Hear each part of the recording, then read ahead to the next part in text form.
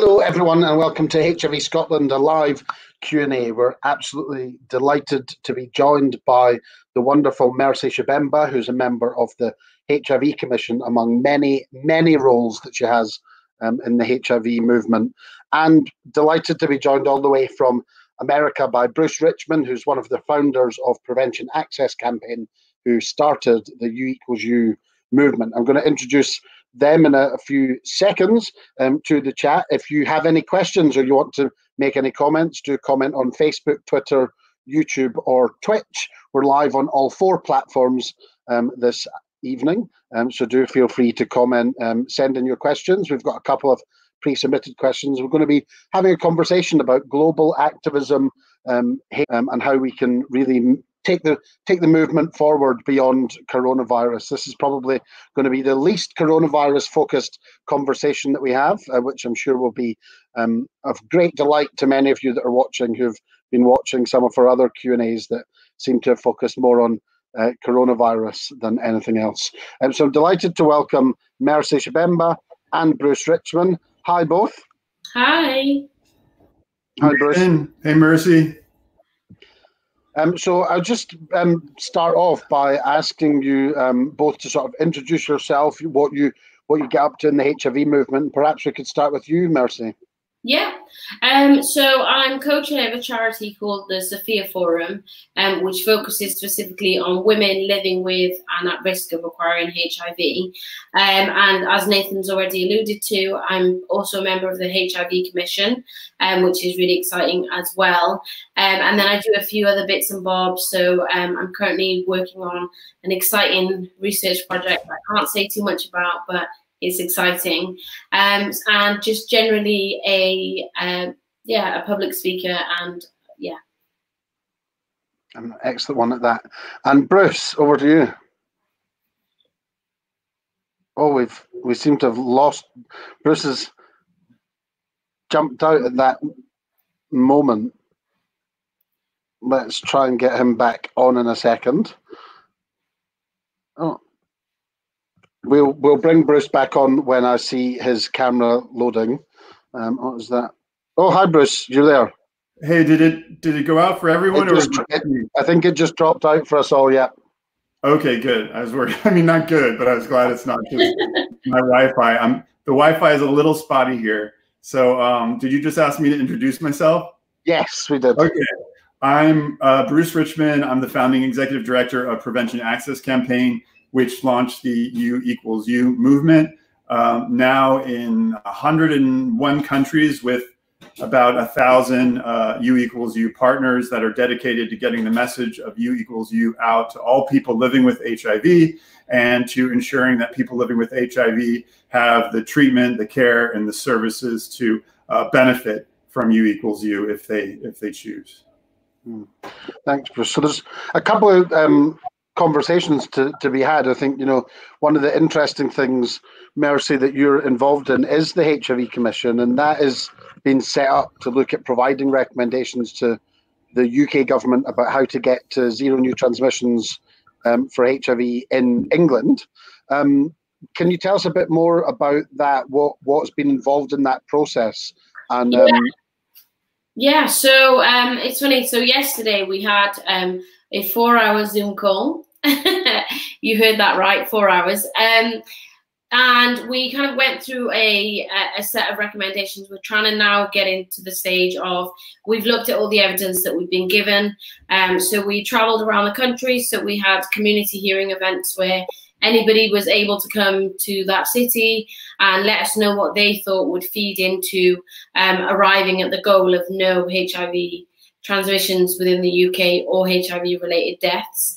Um, but yes, it was really exciting and humbling actually till we've been given look at all of the anecdotes, the stories, the experiences, and say actually what what are the themes that are coming out that are most important and what is it that will actually help us push to zero. And I think, you know, sometimes you can kind of get not lost, but lost in the numbers of like, oh, this is how many people are living with HIV, but what does that actually mean and what does what does that mean what does that look like day to day so um, there's been a really exciting process and i think it's interesting because we've worked with uh, people from across different sectors, um, which is what we're going to need more of as we come closer to the goal. It can't just be that we work in silos.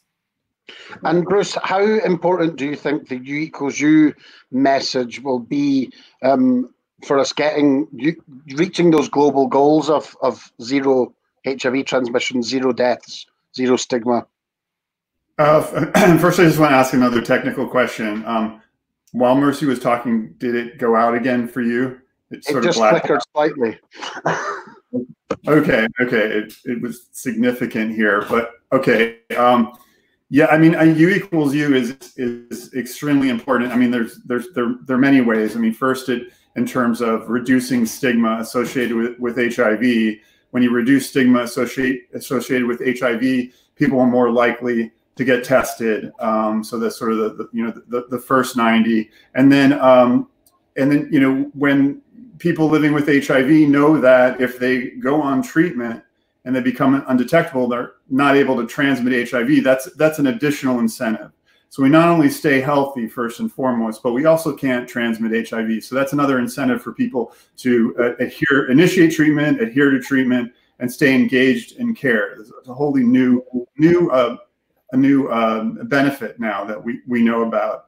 Um, and then, you know, what, what's really important and what I think a lot of um, advocates are, are still missing in, in, in, advocacy, whether it's for treatment uh, or uh, wraparound services or viral load uh, diagnostics, is, is that getting people to U equals or getting people to undetectable, we know is, is, is so transformative for our well-being, for the people living with HIV, for our well-being, our, our, our mental health, our, our personal health outcomes um, clearly. And I think that's that's the argument that we've been advocating with for for you know for decades. Now we have a second argument. We have what, what's called the public health argument for for uh, for uh, treatment, care, and services. So now we can say we need treatment and care and the services. We need to remove the barriers to treatment, not only for our health, but to stop new transmissions, which will get us towards ending the epidemic. Um, so now we're seeing policies changing that are enabling more people to get on treatment and to get into care. Um, it, not just again for health, but for prevention, which is what a lot of policymakers care about. They care about prevention and unfortunately often don't care about our lives. So we need to address their interests in prevention with the U equals U public health argument. I think that's really interesting and important as well because you do see a lot of campaigns around zero HIV transmissions, and that's that prevention argument. But ultimately, um, until there, you know, unless there was a cure found, there's still going to be people living with HIV that we want to live long, healthy, happy lives. You know, with a good quality of life. So it's those are, I think, the our key bit components as well to any global mission to get to zero transmissions. We have to be making sure we're looking after people that are living with HIV as well. Yeah, the fourth that's the fourth 90 that people talk about is that yeah. is a quality of life. It's it it you know it's it's so important and we know that U equals U has really transformed quality of life for so many people living with HIV. We need to make sure that that's accessible to everyone. Mercy, in terms of some of uh, any global work that you've been involved in, what do you think the comparator from England um, or the UK to other places um, in the world would, would be? Do we think? Do you think we're we're ahead of the curve here, or do you think we um, have much more to do? I think in a lot of senses it all ties back. When I think about this, it all ties back to the NHS. We have a safety net that many other countries do not have. We'll always know that actually my access to treatment is something that I don't need to worry about. And that is kind of is kind of the bedrock of how things look because if you don't have access to treatment, if you don't have good treatment programs, you're gonna not get very far in your HIV response as a nation. Um, and that's something that I found time and time again. You know, you can have all these nice fluffy things, but if people can't get their medicine, then we're, we're nowhere near where we need to be. And Bruce, you work with the Prevention Access Campaign in, in, in so many countries, like you talked about. What do you think what, what is the global sort of position at the moment in terms of these global goals of reaching zero transmission, zero deaths by 2030? Is there still a long way to go? Is that achievable in, in a global setting? I, I, think it is achievable, and I think it's it's really um, relies very, you know, strongly on what, what Mercy was talking about is, is, is access to treatment and to, and to changing policies. Like, for instance, policies like in, in Japan. I was just in, in Japan um, working with advocates because to try to, you know, working to change the health ministry's policy that um, people with HIV will only get free treatment if their CD4 count drops below 500. And so that means there are people living with HIV who are declining in health and we're hoping they decline in health so they can get to 500 so they can get to treatment. So these you know these these progression to 90 90 90 or in the fourth 90 really really depends on policies and programs. Um, really good programs to support people living with hiv in the united states you might be shocked to hear that in one of the richest countries in the world um, with some of the highest numbers of people living with hiv in the world 1.1 million we only have half of those people on treatment and in care. So we have, you know, half of the population of people living with HIV, you know, most of them are declining in health and progressing to an AIDS diagnosis. And so, um, you know, we, we're not going to reach 90, 90, 90 unless we focus on the, you know, the, the, the, the half of those people, about 450,000 people. If we, we're not going to get to 90, 90, 90 unless we're focusing on their well-being you know, and and and and that's not just treatment. Treatment is available. There are excellent programs, but it's getting access to treatment and dealing with all the wraparound services, the social determinants of health, and the structural problems, the racism, the transphobia, the the homophobia uh, that's making you know that, that are really barriers to, to treatment. So it really depends on you know on the country, and I mean, we've seen incredible work um, in in in other places that I hope that will import uh, into the United States, like your program, Nathan, like your uh, your your coaching program for HIV Scotland is it's incredible. It's incredible. We need that kind of program in the U.S. to help people living with HIV. We need a lot of a lot more services to connect people with HIV to community um, and and to feel uh, that they can navigate their lives uh, in a healthy way with uh, with HIV. And Bruce, you you talked about 1990. I think it's maybe useful. You know, some people watching might not quite understand what that means, or they've heard it and think it's quite jargonizing, as it were. You know that.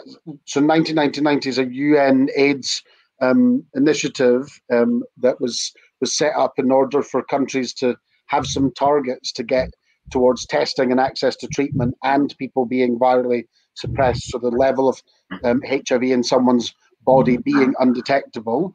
Um, and that's 90% of people being tested and diagnosed for HIV, of which the UK floats above 90, just just um, around 91, 92 percent of people living with HIV across the UK um, are diagnosed. The second 90 being accessing treatment, and the UK does pretty well there, um, around you know above 95 percent, um, and then the third 90 being people being virally suppressed again.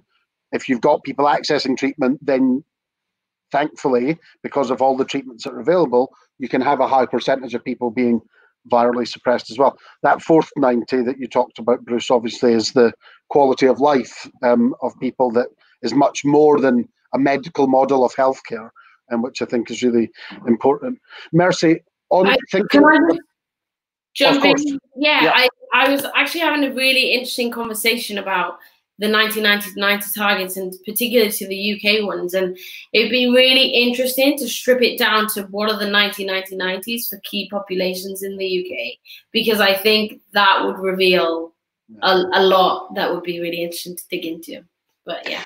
Yeah, no, I think I think you're right. What I was going to um, ask you was about you know that first 90 and we know you know in scotland there we estimate around 500 people living with hiv that don't know they have it because they've not been tested and not been been diagnosed. And that i think is is one of the problems you know everywhere is the fear of just accessing a test. And what do you think um, activists and activism and advocacy organizations and individuals can do to to really break through that stigma that exists in order to get to get tested?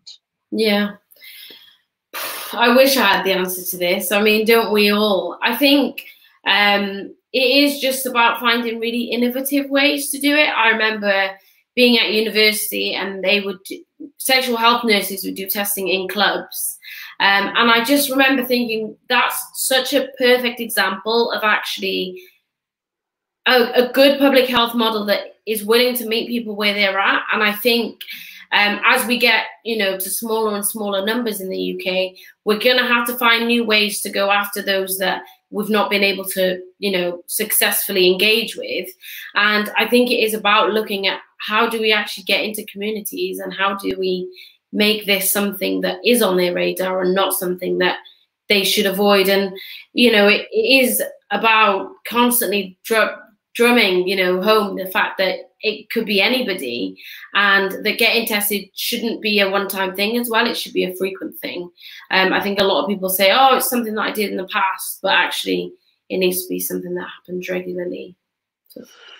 and mercy i think what you said as well just before about you know the key populations the populations of people that are most likely to be affected by hiv so you know in glasgow we're, we're seeing an ongoing outbreak of HIV among people who use drugs, mm-hmm. um, and that's been going on for you know five or, or nearly six years, um, and it's that's been a massive challenge. One of the questions I wanted to put to you, Bruce, was the with the U equals U message only at the moment relating to sexual transmission.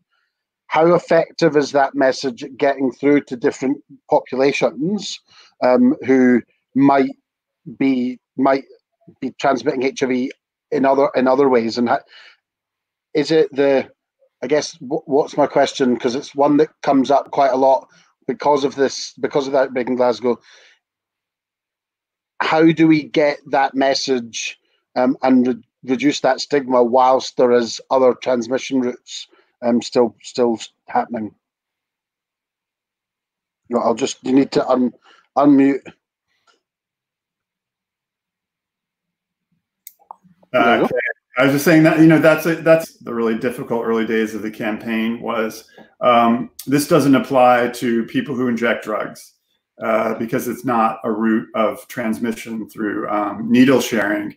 And at that very time that we were getting kind of criticized for that, which was always helpful, we like feedback. Um, the only clinic that had served um, Scott County, Indiana, which is where there was the largest outbreak from sharing needles from, from injection drug use, um, was going out with the t-shirts telling people who inject drugs, you equals you, because they have sex.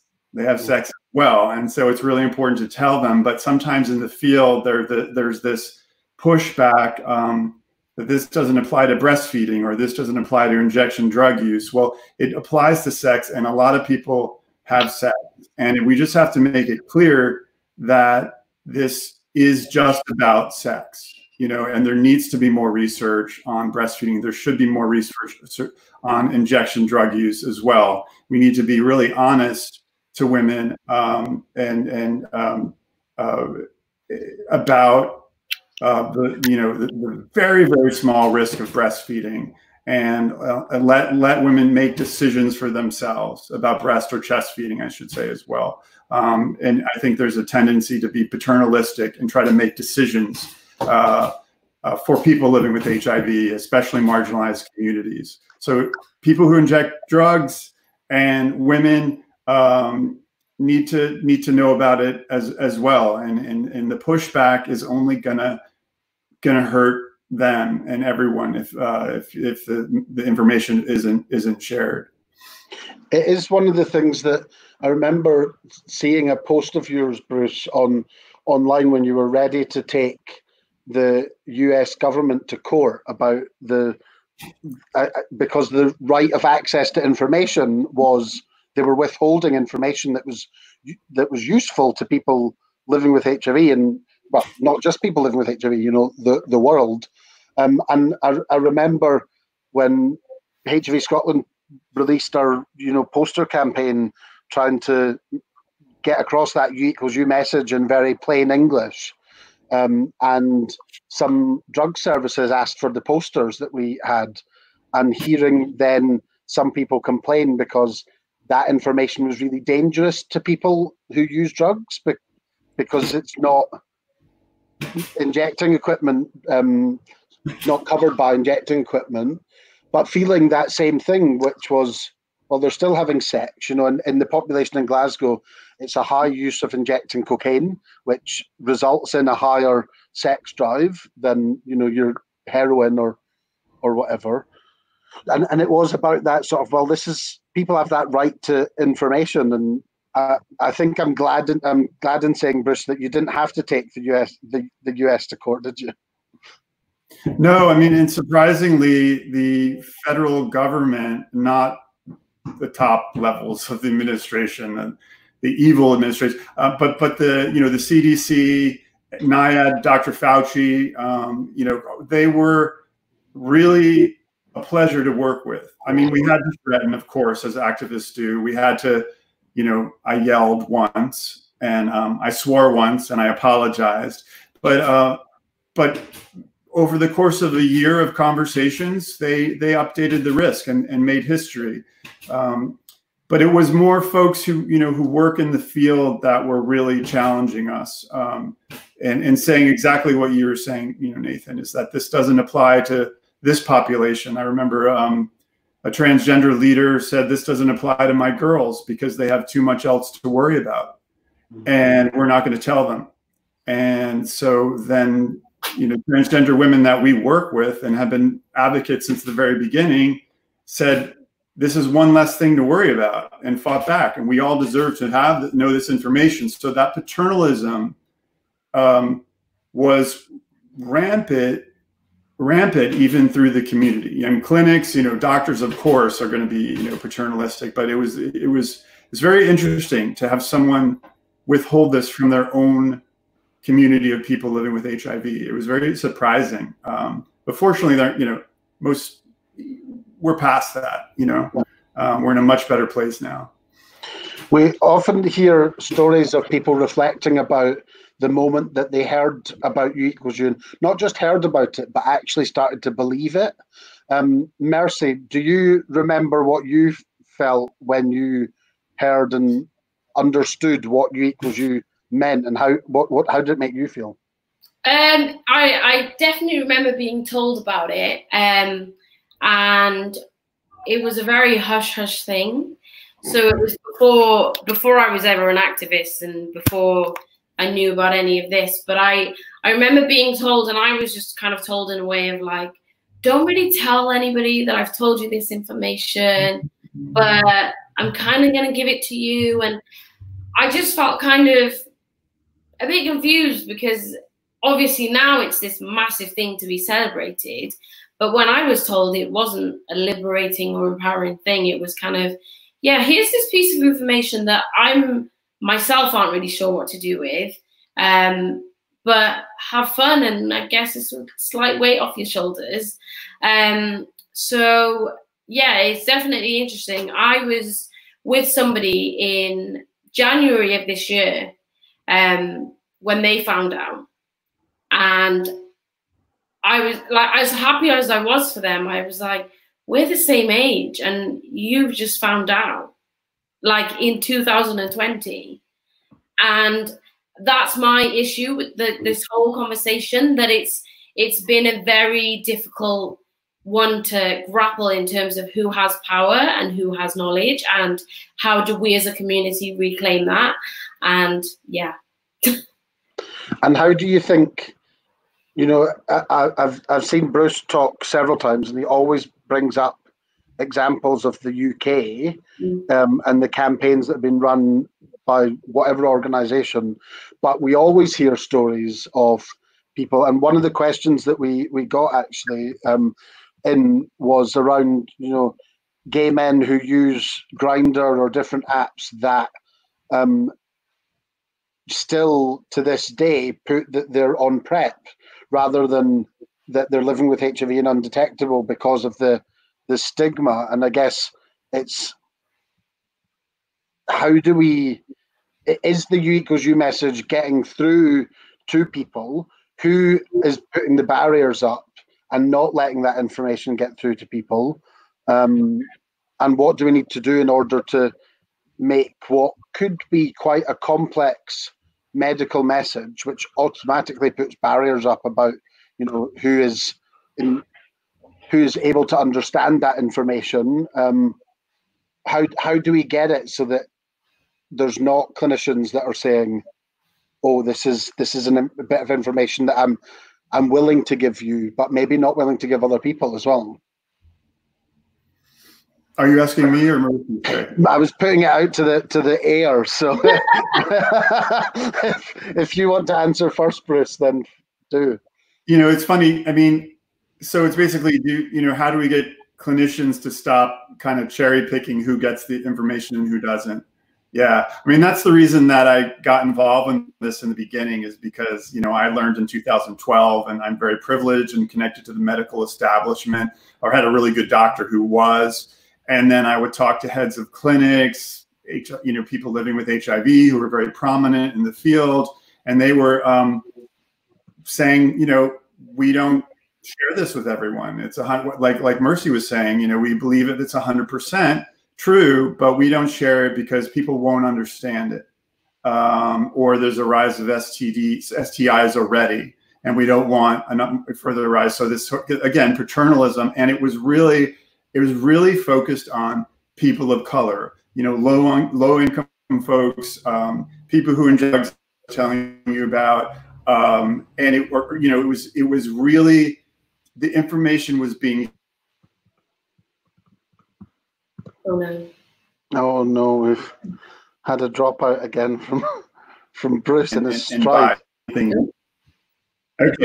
Um, and I think that the way that you get around this with doctors, with clinicians, there's there's several strategies that we talk about. Um, one is uh, it's just unethical. It's unethical to withhold this information to people living with HIV or to exaggerate the risk from someone with HIV. And that in the United States, that's malpractice. And so we talk when we talk about malpractice, clinicians get a little bit worried um, because you're telling someone something, you're giving them advice that is is is against industry standard. First of all, it's not it's against the, the, the medical guidelines in the United States, and it's harmful to them, and that's malpractice. And then the other thing that you say that's also really helpful and addresses their self interest is your patients are going to find out elsewhere and they're going to know you lied to them or you withheld this from them. And that's going to break trust between patient and provider, which is a really important thing. Trust is really important for people to stay engaged in care and to feel safe. You know, if you can't appeal to the doctor's, you know, interest in helping their patients all across the board um, with personal their, their personal health outcomes, you know, you would deal you you, you kind of have to play to their their self interest um, you could also talk to them about this is you know this is a public health issue. You'll be contributing to prevention if you if you tell everybody across the board. It's hard to deal with their racism or their homophobia. That's like decades to try to undo, but you can come up with strategies that will will get them to take to change their mind. And the final one I should say also, sorry, going on, is peer pressure. Uh, if you get another doctor to talk to them, um, you know, or the medical associations to talk to them. That's another thing that we've we've been able to do.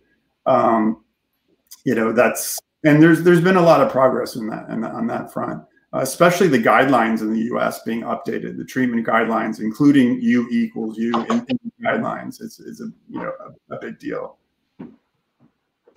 I think as well for me it's about the power of the peer. Um, coming at it from a young person's perspective i i know what it is firsthand to grow up knowing you've got this virus that has historically been known um, for being really infectious and really stigmatizing.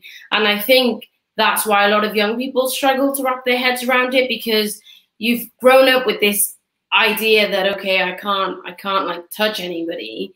And then suddenly you know coming of age happens and it's like oh no, like you're fine, like go do what you know. Um, you you can you can be a mum, you you can have sexual partners, you can do all these things, and I think for me, what's been helpful is having peers that are older than me and being able to be like, oh, actually, no, they went to university. I can go to university. Oh, actually, they're a parent. I can be a parent. Oh, no, they're married. I can be married. And it's, I think it's just about continuing to work on the image that people have in their heads about what it is to be someone living with HIV. And I, it's similar to you equals you, but I, um, I, I've got a sister, and my sister's HIV negative. So for me, I've always known that there, there, there has to be a way that, you know, it's untransmittable. Um, but she's my favorite example when people just don't like, well, same set of parents. And so, yeah. I think that point you made, Mercy, about knowledge being power is really um, is really like powerful in in itself as a as a statement. I remember going to a school of 13 that a class of 13 year olds to talk about HIV um, just ahead of World AIDS Day a couple of years ago when I started working for HIV Scotland, and hearing them talk about HIV in such a knowledgeable way as 13 year olds because their teacher had it was something that the teacher was really passionate about in educating kids so that you could reduce stigma. And the only thing that came up that was sort of not true that they just believed was that when women living with HIV could give birth to HIV negative babies, and that was the only bit of sort of um, mis- misinformation that they just couldn't get their heads around that, and that was thirteen year olds yeah. um, who knew everything else. They knew that you couldn't pass HIV on if you were, you know, on treat. All of these things, and I was just really proud then, a, just a couple of years ago, that Scotland has started to put in U equals U PrEP HIV information into the curriculum in Scotland for young people because knowledge is power, and that's the only way that we can we can get, you know, have the new generation of teachers and clinicians that grow up learning about U equals U in school. They don't need a CPD module online to learn about it. They learn about it when they were training and, and, and growing up, which I think is really is really powerful. Bruce, we had one. Pose a question to you. Of course. um, so obviously, HIV Scotland has launched this new kind of opportunity, and I think particularly linking it to coronavirus and how obviously we're on lockdown, da da da. Um, how have you found the experience, and how has it helped you to think more about breaking down barriers to get people to test? So you talk, uh, uh, you're talking about HIV self test Scotland, uh, and yeah, so we yeah we worked with Waverley Care to set that up on the basis that we've got uh, a we've got people at home one so captive audience uh, quite literally. Um, but the amount of testing that happened across Scotland had plummeted you know to close to zero levels um, each week. And really for for us and and I sort of went to Waverley Care with the idea and said why don't we just do this? We've been talking about a national self-testing program in Scotland since I've been at HIV Scotland um, I chaired a working group that recommended that two and a half years ago and the buck has been passed from pillar to post with you know is a national model right is a regional model right and I think I was just getting sick of that being passed around when we do have a unique opportunity. It's not the best opportunity for everyone to test right now. And I think we need to get that messaging right is that for many people, right now is not a good time to test because they don't have their support networks that they yeah. can go to. Um, they could be in a very unsuitable housing situation or um, alone. And some people will not want to or shouldn't have to deal with getting HIV diagnosis if they're on their own and they can't access their support mechanisms.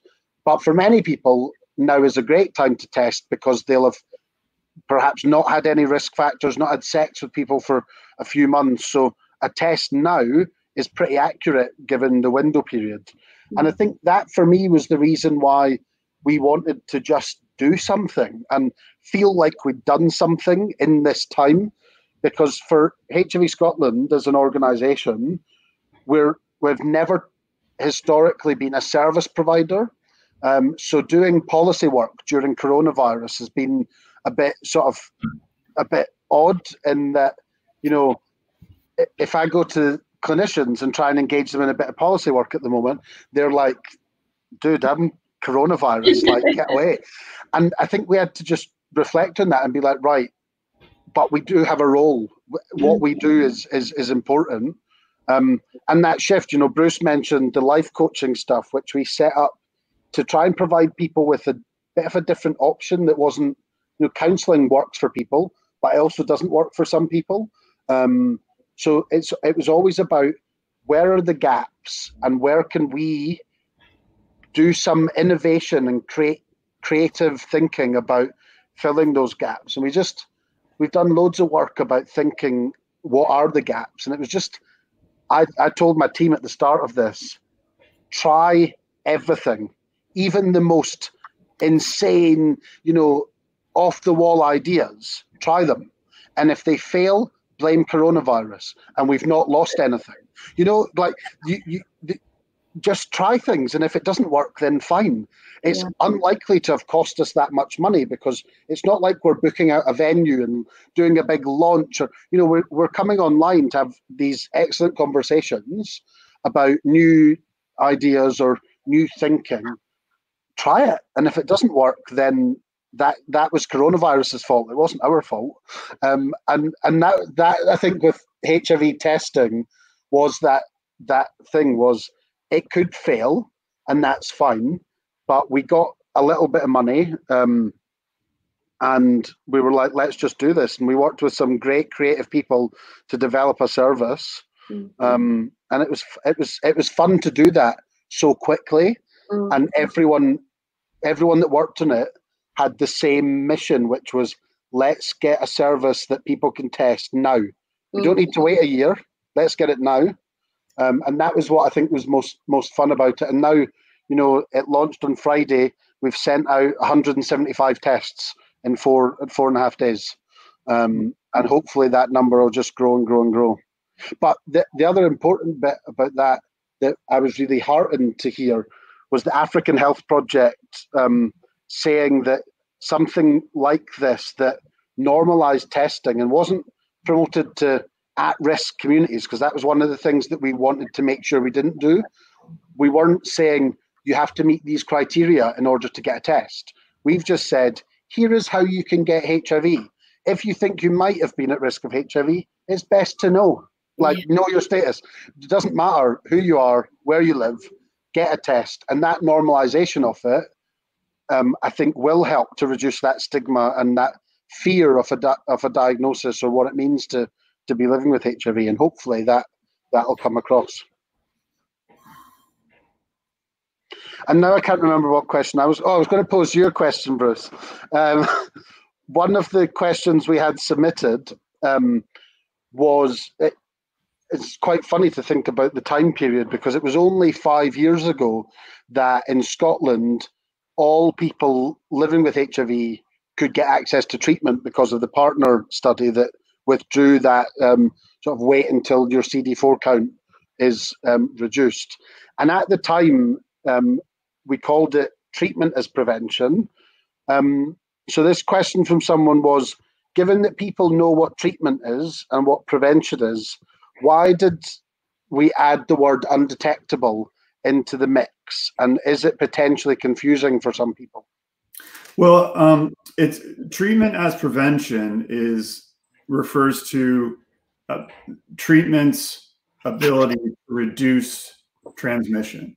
Um, it doesn't say the level of viral load that you need to get to, and it doesn't say the extent to which treatment prevents transmission. So it was really important for us to come up with a phrase that was clear that you need to get to undetectable. And that, that's what you're, you know, prescriptive. You need to get to undetectable. And then descriptive, the, the, the level of um, of transmission is untransmittable. So it's it's clear it's just it's more descriptive. We had to get that way because otherwise people would think um, that if they're on treat, all, all, they need to do is be on treatment and they're and they're untransmittable. Some people are on treatment and they have low level viremia, which means they have low levels of virus in their blood, and it might not be below 200, which is the threshold for the you know the kind of the um, overall of, of the studies. Um, if you're uh, under 200, you're untransmittable. Um, so we have to make it clear that it's not just being on treatment, but it's actually getting to undetectable while on treatment and, and staying undetectable by by continuing to take medications and and, and staying in care. also, the other thing is TASP, right? Treatment as prevention. It's a really important term, and it was it was mm-hmm. coined by Julio Montaner in 2007. But you don't see people tattooing TASP on their body. It's like U equals U. We're seeing it all over the world. People are tattooing it. They have the U equals U T-shirts, and it's become a you know U equals U masks now, and so it's become something that's very empowering for people with HIV, and it's in so it's in almost probably it's probably about 50 languages at this point, mm. um, and it translates very well. The U equals U to B equals B in Turkey, or um, M equals M in the the the kind of oldest indigenous tribe in Venezuela it's uh, translated to M equals M, and I equals I in Brazil, and S equals S, and um, and Zambia. It's it's so many H equals H in Russia. So it's it was important to get to that kind of phrase that at least to people with HIV and people in the field, it makes it makes sense and it's and it's clear. Mercy, I was just thinking. Um, so today I chaired a meeting of the Young Leaders Network, which is a bunch of um, young chief executives, and and I've decided because of coronavirus that I'm postponing my 30th birthday this year. Um, so I'll be 29. I'll be 29 for another year. Um, but one of the, I think, major problems that a lot of the sector has sometimes is reaching young people um, with some of our messaging campaigns involving young people as activists, and they're often the most inspiring and most creative and most innovative. Um, so I wonder if you can um, provide some insight and in how do we, as a as a wider sector, involve young people and make make the sector relevant to them, um, so that we can create that new new wave of activism that that will break many more glass ceilings than we, we can currently do? I think um, so. I was thinking about the International AIDS Conference this year and how it's obviously going to be online. And I think one of the ways in which we can tap into engaging with young people is by utilizing those kind of things. Um, I think definitely we have a long way to go in how we use social media to tap into what young activists can do um, in in the movement. But for me, I've always felt that I've been I've been really lucky to be given opportunities that are probably too big for me, but people believe in me. And I think my challenge to anybody that you know holds the keys to those opportunities is how have you involved a young person um, and how, how will you continue to involve young people? And i think it's also about you know young rascals like you nathan um, you know being in those positions and actually um, making it a possibility but also showing people the way. I've always found you to be really open and um, transparent and you're you're really approachable. So i think it's about facilitating those conversations amongst young people ourselves and thinking about actually what can we do to be more involved in a meaningful way. Um, so it's not really an answer, but if you're old and you're watching this, include young people, and if you don't, get involved. I think that's that's absolutely important. You know, I I often I'm not sure I would consider myself young, even though I, in the grand scheme of things, I guess I am. But I did just learn how I just learned how to use TikTok recently, so perhaps uh, we might see HIV Scotland on TikTok um, in in a fun way. Bruce, did you did you just say you you are young? You are young. You are young, and I don't know how to. I can't figure out TikTok, so I am old. That's a clear sign. Um, and, and Mercy, I, couldn't agree with you more about uh, young people. We have um, young people on our uh, uh, of our ambassadors and steering committee who are just go to them all the time for for advice and to make sure that that we're um, really serving uh, the you know younger populations, not just in the U.S. but um, in other parts of the world too. So we've had a question come through on Twitter. Um, how can modern media be used? I think so. Quite relevant, I think, actually, to what we just talked about. How can modern media be used to make HIV information or content accessible for everyday people? So one of the uh, whilst I let you two think about a question, one of the um, things that we did recently was host the live in lockdown um, show, and one of the ways I wanted to, when I had the vision about this mammoth four and a half hour um, online show during lockdown, I went to a bunch of drag queens and I said, please, can you say these things? So talk about you equals you, talk about testing, and we've got a bunch of clips now of lots of well-known drag queens talking about these things. Um, that I think you know, drag is is one form. It's not. It's never going to meet everyone's everyone's needs or whatever, but it's one form of getting a message out to people that some people will will listen to um, and reach an, an audience that perhaps organizations can't reach um, online. So that was one of my things that that used sort of our new media to to do that. But Mercy, over to yeah. I think so. For me, uh, in the past, I got the chance to um, speak to television, um, like TV writers on Casualty, um, about involving a story, and they they did. They wrote it in, and I watched the episode, and it was great. And I think it's about finding ways to meet the public where they're at. So um, not always being like, oh, do you know what? We're, we're going to do this campaign and everybody's going to look at it and we're going to put it on billboards and all this stuff. But actually, what do everyday people come into contact with and how can we tap into that and use that as a form to just weave it in as a story? Because I think the danger with big campaigns and all of that is that it doesn't help to normalize it because if it's so if, if you just kind of encounter a hiv message in something that you would encounter every day. I think that helps to normalize it and just make it a part of normal life and what you discuss and what you talk about. And I think particularly after this, you know, this epidemic is this pandemic is over. Um, I think this has really made people wake up to the fact that public health is everybody's issue and that it isn't, oh, that's that's something I don't need to worry about. But actually, how can we use this kind of feeling of health is really important and central to everything that happens in life um, to be able to, you know, normalize HIV and other things. And then the message was on a big Netflix um, series, wasn't it, Bruce?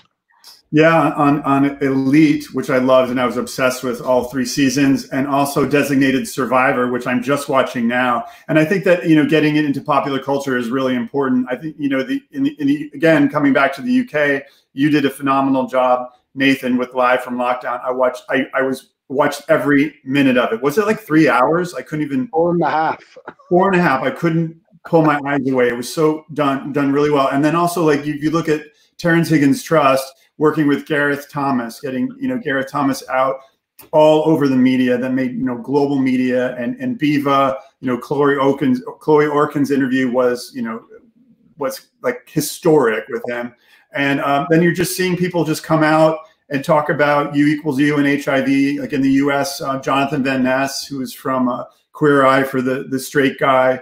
Um, is that what it's called? Jesus, that's what it's called, right? I can't believe I'm such a Ah, queer eye for the straight guy.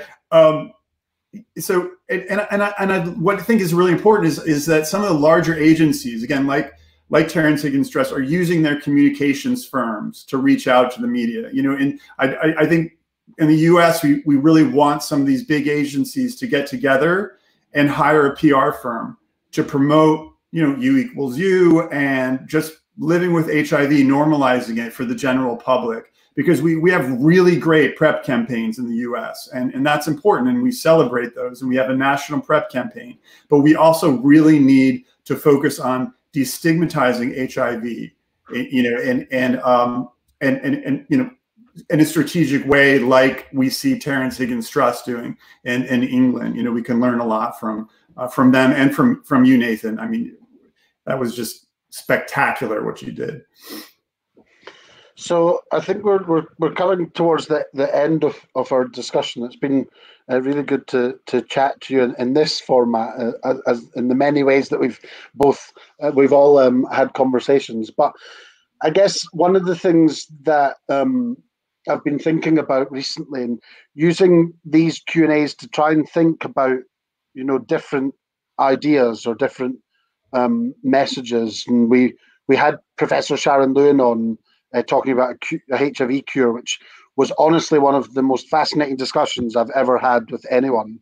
Um, and I would definitely recommend going going and watching it on our YouTube channel. Everything that we're trying to do is is make people either think in a different way or think about something that they might not have thought about before.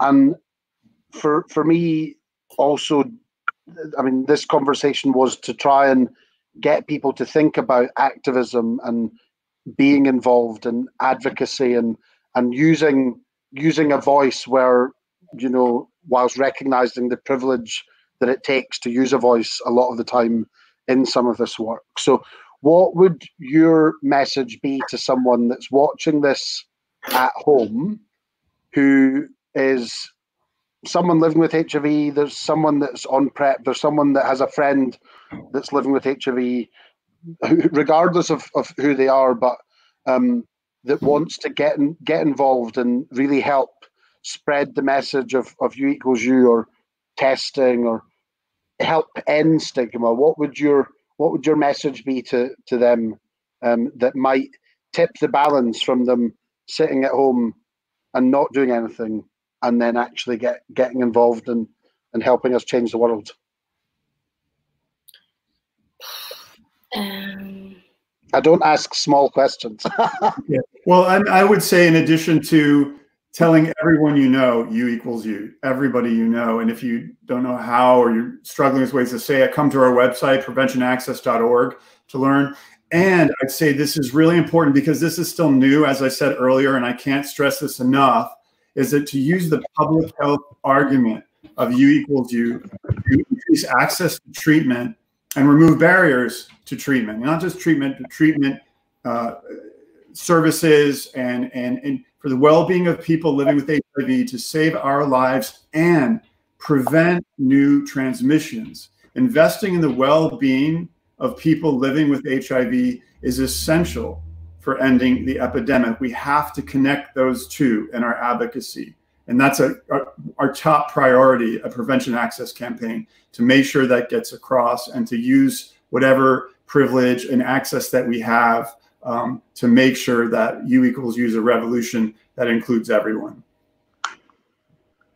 And I think for me, it would be, you know, HIV is a really unique thing in the sense that a lot of the progress that has been made has been community led or community driven um, and use this current crisis to kind of instigate you think about the health inequalities that this has opened your eyes up to um, the, the scandal that you know this whole testing fiasco has been and actually you you know harness what you're feeling to actually navigate what that looks like for you in getting involved in something bigger than yourself and joining a great community. well, thanks both um, for your your time to, to Mercy and Bruce. It's been a great conversation, and I'm sure there'll be um, there's been many people watching it over this hour, but I'm sure there'll be many people watching it over the coming weeks. Next week, um, we'll be joined by an absolute star, James Bush, who was the um, pilot living with HIV who fought the law and won um, in partnership with HIV Scotland and BuzzFeed journalist Patrick Strudwick. So we're going to be talking about that successful campaign that not only changed the law in Scotland, but is changing the law across Europe as well. So join us next Wednesday at 7 p.m. for that conversation. From me, Mercy and Bruce, goodbye. Bye. Thanks for having me.